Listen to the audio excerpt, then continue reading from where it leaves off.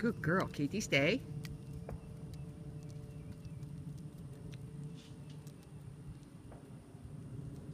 Good girl, you got the paper. Good girl. Take it to the house. Good girl.